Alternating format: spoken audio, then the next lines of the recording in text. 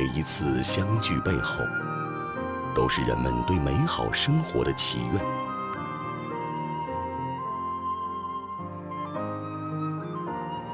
每一桩婚事所承载的，都是人类代代相传的心愿。请看，生生不息。真实记录，记录真实世界。观众朋友您好，我是凯比努尔，欢迎您在这一时段收看新疆卫视的纪录片栏目《真实记录》。团聚，永远是中国人心中最美好的愿望，而意味着相爱的两个人从此可以生活在一起的婚礼，则是每一个民族文明繁衍的重要的组成部分。从古至今，婚礼的仪式在变。但是人们的爱和祝福没有变。今天的新疆味道，就让我们带着您去欣赏婚礼上的美食。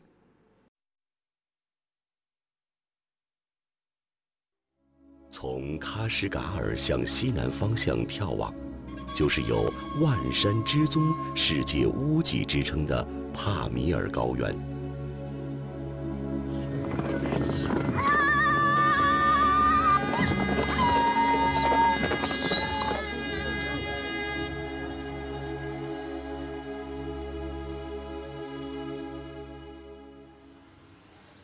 石库尔干是高原上的山阴之乡，中国绝大多数的塔吉克族都生活在这里。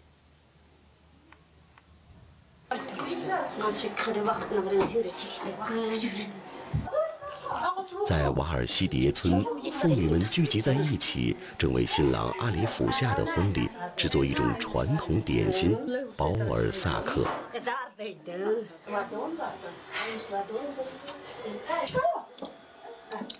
婚礼上的包尔萨克必须由长辈制作。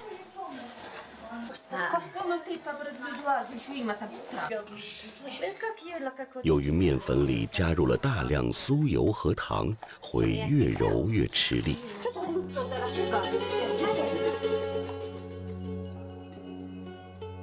每年十月，帕米尔高原上秋高气爽，牛羊肥壮。塔吉克人认为，这是最适合结婚的季节。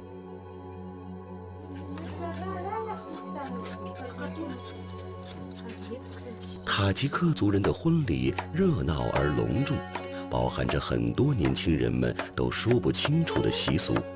整个婚礼全由家里的长辈和邻里乡亲来操持。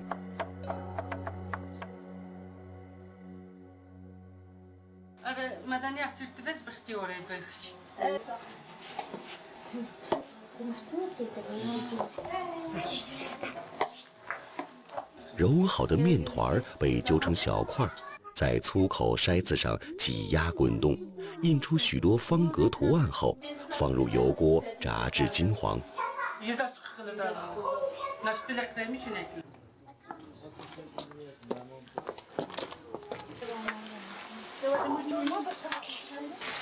香脆可口的包尔萨克是塔吉克婚礼上必备的食物。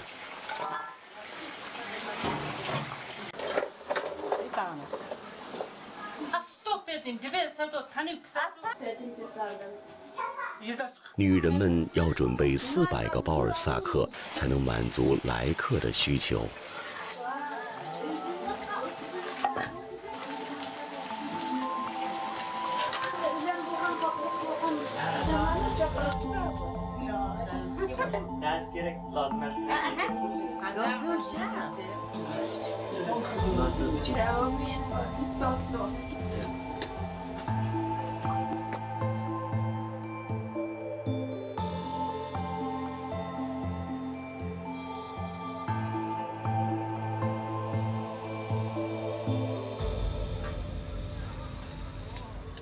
在距离乌鲁木齐二百八十公里的木垒县，另一场婚礼也开始了紧锣密鼓的准备工作。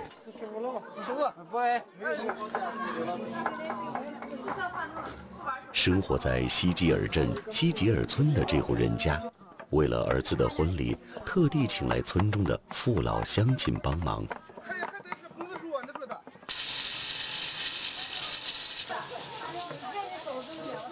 和所有汉族人的传统婚礼相同，准备工作必然是杀鸡宰羊、摘菜洗菜，人来人往，热热闹闹。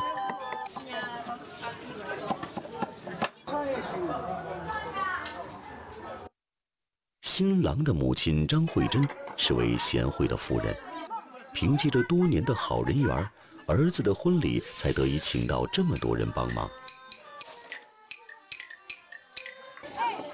亲朋邻里平常也很难齐聚一堂，借着这喜事的东风，倒是正好联络感情。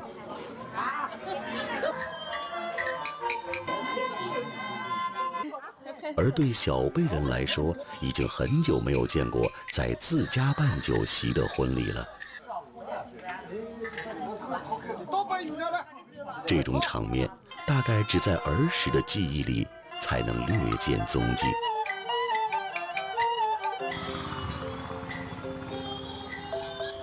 木垒县历史悠久。千百年来，流传着周穆王西巡、樊梨花西征等神话传说和民间故事。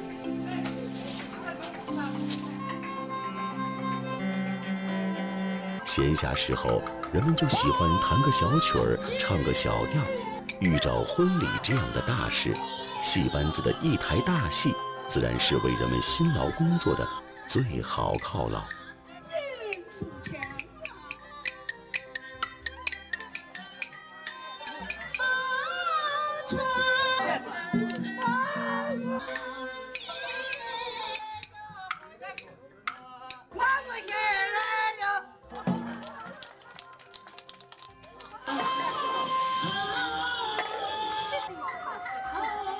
一大锅臊子熬得正香，一天的活计忙下来，人们一边品尝着美味的臊子面，一边期待着明天婚礼的圆满。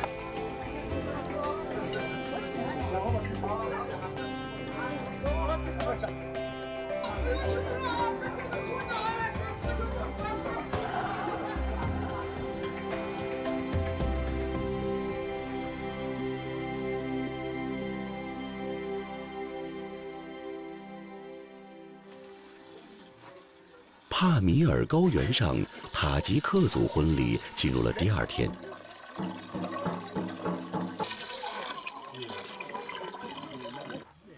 距离瓦尔西迭村五公里外的提兹纳府村，新娘伊祖热家的男人们正宰掉一头牦牛和一只羊羔，准备招待来贺喜的客人。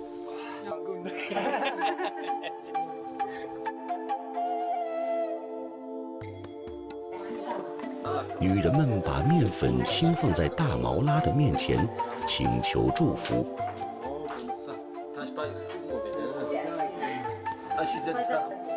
之后，他们把少量带有祝福的面粉撒向厨房的墙面，祈求平安。其余的面粉被用来制作一种塔吉克传统食物——哈克斯。用柴火烧热灶坑，然后压上牛粪，牛粪燃烧散发出均匀的热度，将锅烧热，将酥油倒进锅里，慢慢融化，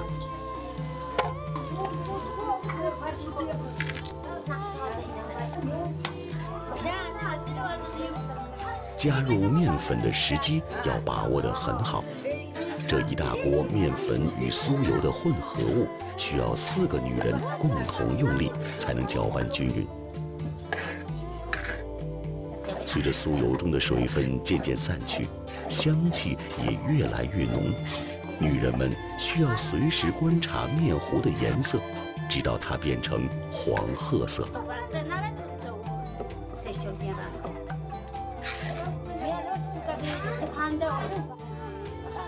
哈克斯又叫油面糊，没有固定的做法。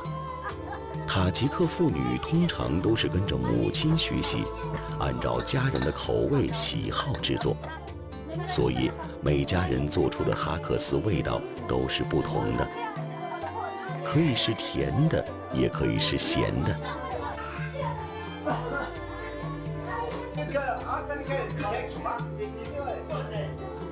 做好的哈克斯要放凉了，蘸着馕吃。平常牧民们放牧时，常将哈克斯和馕一起作为干粮带在身边。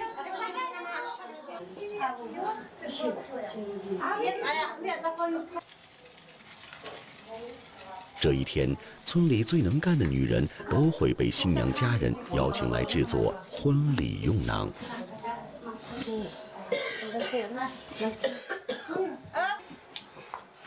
馕。不只是塔吉克人最重要的日常食品，更是家族兴盛的象征。在塔吉克谚语里，就有“无囊不是家”的说法。婚后第三天，新娘摘掉面纱，在婆家做的第一件事情就是和面打馕，这也是她融入新家庭的第一步。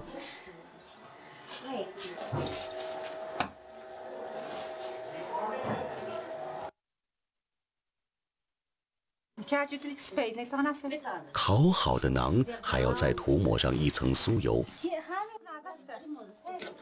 这些馕会和羊羔、糖果一起作为礼物送到男方家。婆家人会在婚礼当天品尝和评价这些馕的好坏。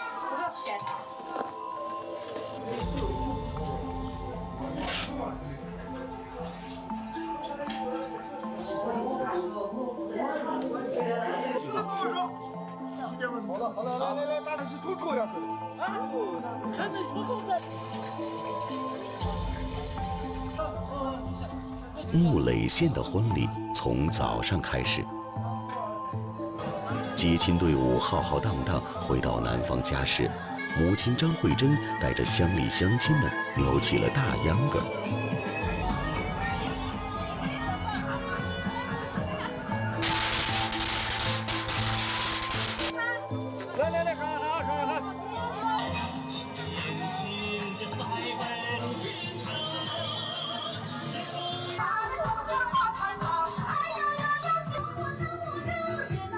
二位新人手挽着手挽着星星，臂挽着臂挽着月亮，挽着你们美好的幸福和梦想，喝下这杯永生难忘的交杯美酒。新郎喝了这杯酒，能陪妻子到白头；新娘喝了这杯酒，能伴丈夫度春秋。掌声再次祝福这位幸福的家庭。典礼过后，喜宴正式拉开帷幕。这种至今仍流行于中国农村婚礼中的宴席形式，可以容纳很多宾客就餐。除了亲戚朋友，很多关系比较好的街坊邻居也都会前来参加婚礼，因此显得特别热闹。也许不比城市婚宴的精致，但这场浓缩了汉、哈萨克、回、维吾尔等各个民族风味美食的盛宴，更加经济实惠，也更符合宾客的口味。这一份对新人的祝福，也就来得分外热情，充满诚意。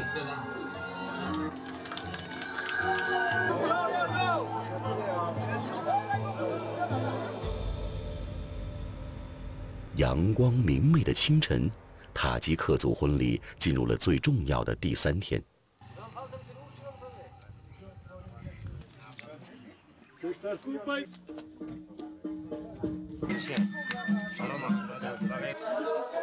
婚礼举行之前，新郎新娘各自在家，都要躺在床上，盖上厚厚的被子，直至大汗淋漓。孩子们围在他们身边，象征着多子多福。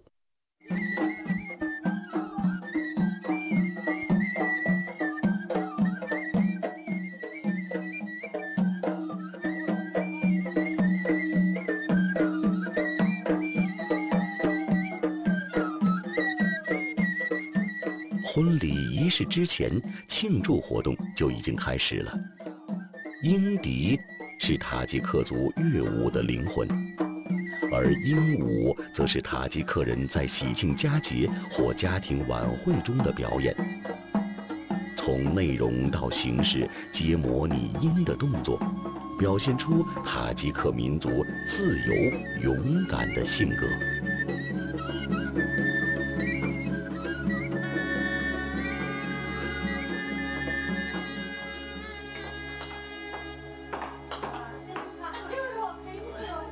屋子里，女人们已经开始制作牦牛肉抓饭。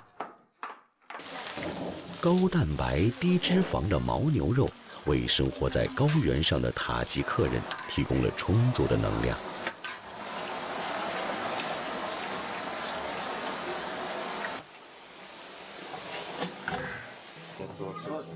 牦牛肉抓饭也是塔吉克族招待客人最好的食物。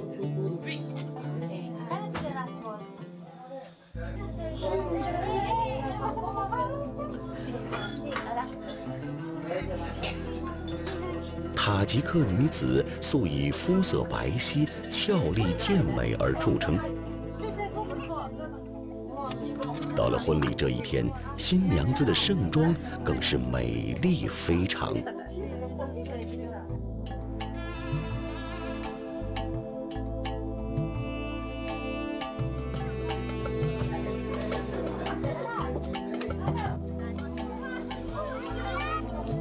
新郎来接新娘子的时候，长辈把面粉撒在新郎和家人的肩上，表示祝福。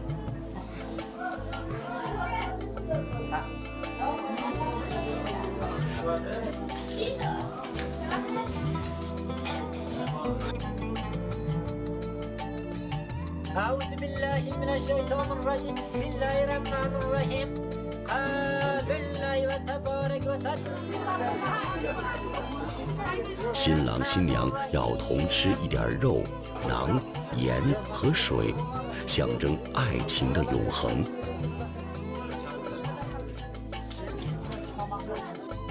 他们还要互换既有红白两色绸带的戒指，红色代表酥油，白色代表奶，预示两人未来的生活富足美满。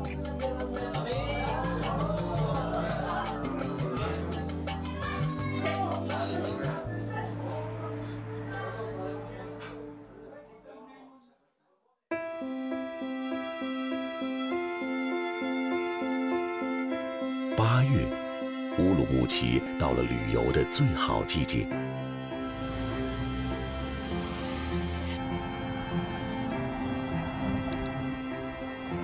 许斌也到了一年中他最忙碌的时候。四十岁的许斌生长在乌鲁木齐，大学毕业后一直在做旅游生意。今年夏天，最让他忙活的事情，却不是日常旅行团的迎来送往，而是自己高中同学二十年聚会。今天他要去机场迎接的这位客人，就是已经在上海定居十多年的老同学郭荣。许斌和郭荣的见面，并没有太多陌生感。但面对这座日新月异的城市，郭荣还是感到了一丝物是人非。今天我简单介绍一下我们。对于出生于七十年代中期的这群人来说，正经历了中国社会和经济变革最为风起云涌的阶段。他们中的大多数人选择留在新疆生活、工作、生儿育女。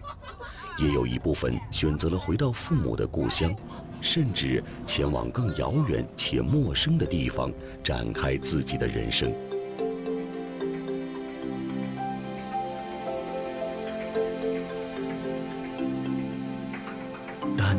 身在何方，老同学相见，会让那些少年时最美好的时光重现。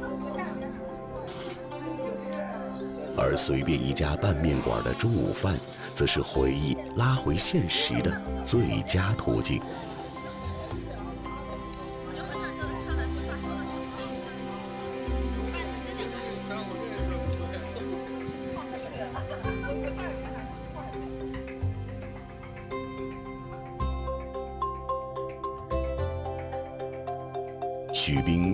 同学会的地点定在了伊犁，这里地处天山北麓，与法国普罗旺斯地处同一纬度带，气候条件和土壤条件相似，是中国的薰衣草之乡。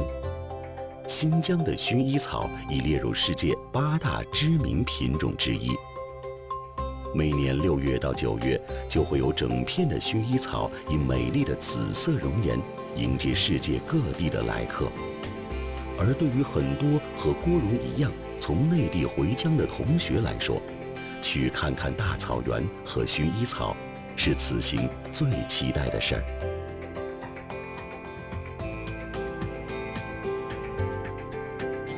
就是回到这里，就感觉我真的是属于这里的，就全身心放松。因为上海那个城市，人会觉得压力非常大，但是回到这里就会觉得。真的是回到了自己原本属于自己的地方，而且在那边的时候，其实最想最想的就是这边的好吃的东西，比如说拉条子啊，比如说凉皮呀、烤肉啊，还有呃这边炒米粉我也很喜欢吃。所以在那边呢是在上海的时候，这些东西真的很难找到，就是反正特别想。那最后的结果就是经常会自己在家里面做一点，但是再怎么做也做不出这边新疆的味道，所以非常非常的想念。其实我觉得。不论到什么年纪，到什么时候，新疆都是我最最最最最最难忘的一个故乡。每一种相聚背后，都是人们对美好生活的祈愿；而每一桩婚事所承载的，则都是人类代代相传的心愿。一辈又一辈的新疆人。有的远走他乡，却在每一个思念的季节，像候鸟一般，齐齐回到这里，感受亲情，品味故土。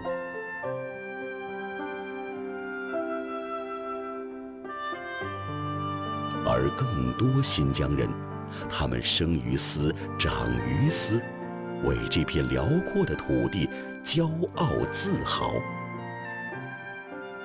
也为这里的戈壁胡杨魂牵梦绕。